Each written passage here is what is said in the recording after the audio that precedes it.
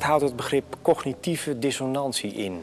Ja, dat begrip cognitieve dissonantie heb ik gebruikt om iets te verklaren. Namelijk, uh, als je het begin van het christen, succes van het christendom wil verklaren, dan moet je verklaren waarom toen Jezus aan het kruis stierf, wat eigenlijk een weerlegging is, kunnen we aannemen, van de opvattingen van de vroegste christenen. Die dachten dat Jezus hen ging bevrijden, misschien zelfs wel van de overheersing van het Romeinse Rijk. Waarom toen Jezus aan het kruis stierf, mensen niet concludeerden, nou, kennelijk hebben we ons vergist. dat was Paulus' oorspronkelijke opvatting. Het feit dat Jezus aan het kruis gestorven bewijst dat hij niet de Messias was. Maar precies het omgekeerde zijn gaan doen, namelijk de Romeinse wereld in zijn getrokken om te gaan getuigen dat Christus de echte redder was. Hoe moet je dat verklaren? Dat is volkomen irrationeel. En de theorie van de cognitieve dissonantie verklaart dat. En om die theorie te illustreren, is het leuk om Amerikaanse sectes te bekijken. Ja, ja. Nou, dus de theorie van de cognitieve dissonantie is heel, heel makkelijk uit te leggen. Die bestaat hierin dat mensen maar een beperkt vermogen hebben om te verdragen meningsverschil met anderen en verschil tussen hun eigen meningen en de feiten. Dus cognitieve dissonantie is de botsing van jouw eigen opvattingen met die van anderen of met de feiten. Mhm. En dat vinden wij moeilijk. Dat merk je ook altijd in gesprekken. Moet je Daar praat jij zo graag met atheïsten. Kennelijk. Maar uh, dat vinden wij moeilijk om uh, cognitieve dissonantie te verdragen. En er is een bepaalde drempel. En als die cognitieve dissonantie te groot wordt, nou dan gaan we gekke dingen doen. Dan raken we in paniek of weet ik wat. Dan proberen we die cognitieve dissonantie weer te verlagen. Ja. Op de een of andere manier. Nou, hoe pas je dat nou toe? Je had een secte in Amerika die geloofde dat de wereld zou vergaan. Dat geloven sectes wel meer. Ja. En die uh, wereld zou vergaan op een bepaald tijdstip. En op dat tijdstip zouden secteleden, en dat waren er heel weinig, een stuk of zestig, zouden gered worden door een vliegende schotel die zou landen op een bepaalde heuvel ergens. Nou, tijd afgesproken, alle secteleden verkochten hun huis en weet ik wat, uh, gingen op de afgesproken tijd naar die heuvel, geen vliegende schotel. Nou, teleurstelling 1, hè, heel vervelend. Uh, nou ja, misschien hebben we ons vergist, tweede datum afgesproken, tweede keer ook geen vliegende schotel. Nou, dat was wel heel vervelend, want ze hadden echt alle schepen achter zich verband en dachten dat de wereld zou vergaan. Dus het, ja. Wat gebeurt er vervolgens? Die 60 secteleden, of hoeveel er ook waren, heel beperkt groepje, gingen uh, proberen anderen te overtuigen dat ze gelijk hadden. Die gingen dus zending bedrijven. En daarvoor en, bedreven en dus geen niet, want, zending, want, want er konden er maar 60 precies, mee. want het vliegenschotel was te klein. Dus wat heb je?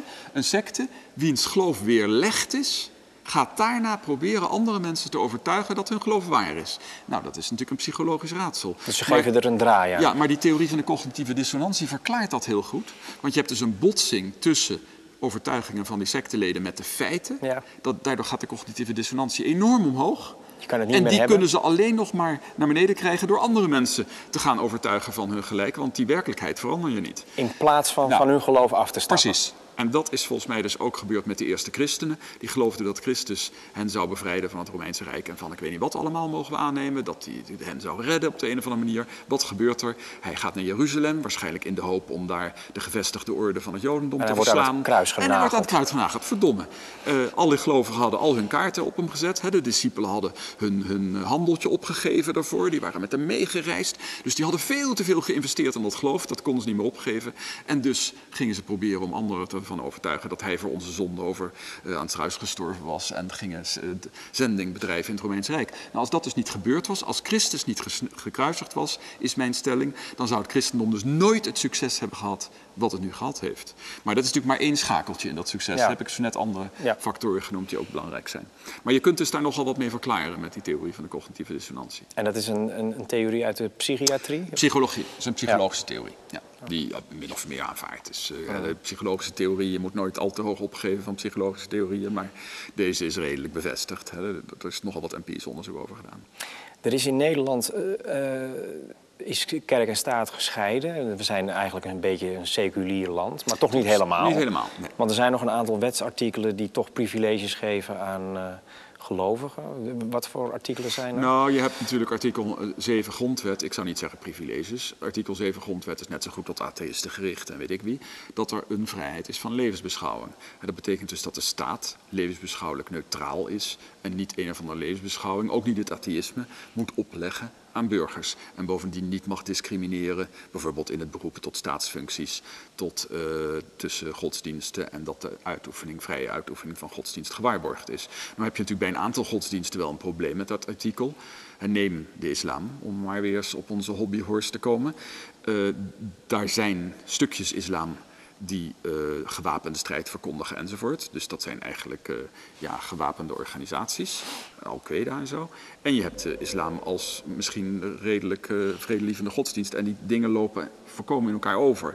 Dus in hoeverre je zo'n artikel moet toepassen. Je kunt natuurlijk zeggen, ja dat geldt, dat artikel 7, dat geldt mits de Nederlandse wet wordt gerespecteerd. Dus al die grondrechten die beperken elkaar en die men veronderstelt ook dat die binnen de grenzen van de Nederlandse wet toegepast worden. Dus je kunt daar natuurlijk nooit een onbeperkt recht aan ontlenen. Ja. Nou, dat is een heel goed artikel, uh, ja, artikel dus, 7. Dus dat hoeft niet aangepast te worden? Artikel 7 hoeft pertinent niet aangepast hoeft te worden. Hoeft niet afgeschaft nee, te worden? Nee, zeker ook niet. Er zijn sommige dat, mensen dat je het onder die de vrijheid van meningsuiting nee, schaart, nee, levensbeschouwing? Nee, want, nee, ik denk dat dat een heel goed artikel is wat een soort pacificerende werking heeft. Uh, alle godsdiensten in Nederland weten dat zolang ze zich maar houden aan de wet, -huh. dat doen ze dus niet allemaal, maar zolang ze zich houden aan de wet, hebben zij vrijheid om hier hun eredienst uit te oefenen. En dat is denk ik heel fundamenteel. Dat moet je vooral niet afschaffen. Maar dan heb je nog artikel 23. En we hebben ook nog artikel 23, wat uit zeven leden bestaat. Uh -huh. lid 1 zegt geloof ik alleen maar dat het onderwijs een zorg is voor de overheid. Lid 2 legt de vrijheid van godsdienst of van onderwijs vast. Dus jij bent vrij om een naaischool op te richten of ja. een rijschool -huh. of weet ik wat. Dat is natuurlijk heel belangrijk, hè?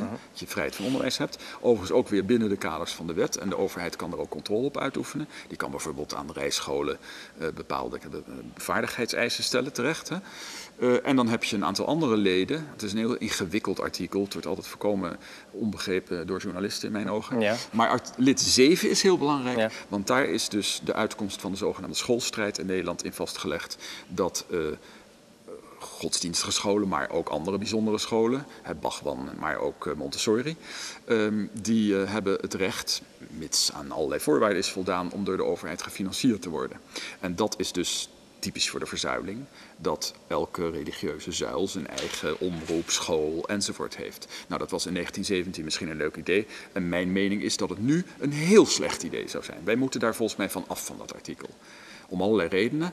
Uh, ik vind niet dat. De, ik heb een principiële reden daarvoor, die heb ik laatst in Buitenhof in mijn column uitgesproken religies zijn uiteindelijk illusies, denk ik. Ja. En zelfs als je in één religie gelooft, dan moet je nog vinden dat alle andere illusies zijn. Dus iedereen moet vinden dat de meerderheid van de religies illusies zijn. En ik denk niet dat de staat moet meebetalen aan onderwijs in illusies.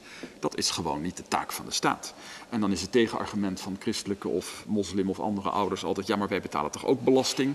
En dan zeg ik, luister eens, je betaalt niet belasting voor het onderwijs in illusies. Je betaalt belasting voor onderwijs in rekenen, taal, geschiedenis en andere bona fide takken van wetenschap en, en geleerdheid. Maar je betaalt niet belasting voor onzin.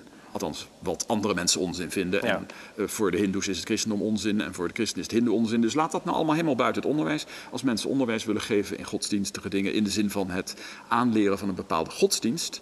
dan moeten ze dat gewoon zelf doen. Zondagschool. Zondagschool, Koranschool. En ik heb een andere belangrijke reden, die is pragmatisch. Dat uh, de integratie voornamelijk van niet-westerse uh, landgenoten... ernstig verhinderd zal worden als wij hen toestaan om allemaal hun eigen school te maken. Ze hebben al hun eigen schotelantennes. De link met het land van oorsprong is eigenlijk al veel te groot voor een goede integratie vaak.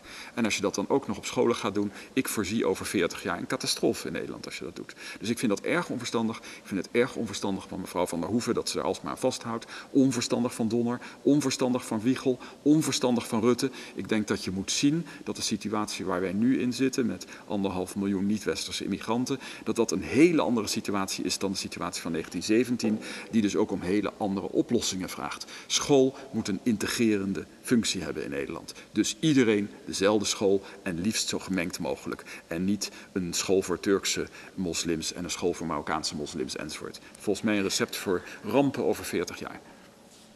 Uh, mijn mening dan, hè? Ik bedoel, kun je over discussiëren, maar dat is dus een toekomstverwachting. Hoe kan je eigenlijk een geloof bestuderen? Als je zelf gelovig bent, dan uh, lijkt het me eigenlijk heel moeilijk om die afstand te nemen. Ja, je hebt dus twee opvattingen daarover. Hè? Dus gelovigen zeggen meestal, buitenstaanders kunnen ons geloof niet begrijpen. Dat is zo diep en innerlijk en zo, dus van de buitenaf begrijp je er niks van. Dat is één opvatting. Ik heb een andere opvatting. En die is dat geloof als menselijk fenomeen, dus al die verschillende geloofsverschijnselen, kun je alleen goed wetenschappelijk begrijpen als je er niet in gelooft. Kijk, als je er wel in gelooft, dan zeg je natuurlijk, bijvoorbeeld je bent christen, dan zeg je, nou, God heeft mij dat geloof geschonden, geschonken, enzovoort, enzovoort. Maar het probleem daarvan is, je wilt niet zeggen dat het hindoe geloof door de hindoes geschonken is. Dus daar moet je dan toch weer een seculiere verklaring voor ontwikkelen. Nou, je kunt dan veel beter de seculiere verklaring voor al die geloofsverschijnselen ontwikkelen. Dan heb je een theorie die alles omvat. Dus in mijn stelling is altijd, je kunt religie alleen goed begrijpen als je er niet in gelooft. Dan begrijp je het veel beter. Dan, heb, dan stel je de goede vragen. En je kan het ook beter verklaren dan. Nou, bijvoorbeeld zoals wij, nu, ja, zoals wij nu gepraat hebben over waarom het christendom nou als secte uh, gegroeid is. Ja. Nou, uh, theorie van cognitieve dissonantie, uh, kijken naar de situatie van het Romeinse Rijk. Dat zijn de goede wetenschappelijke vragen om die zaak te begrijpen. Als je gewoon zegt, nou dat christendom is zo goed gegroeid omdat al die andere secten niet door God werden gesponsord en die Christus-mutant secten wel. Ja. ja. dan heb je geen interessante verklaring gegeven. Dus mijn stelling is Bovendien krijg je dan oorlog ja, ook. Gelovigen begrijpen in mijn ogen in het algemeen niets van hun eigen geloof, wetenschappelijk gezien. Maar de atheïst begrijpt het allemaal, denk ik, beter. Heeft betere, stelt betere vragen, heeft betere theorieën, enzovoort, enzovoort.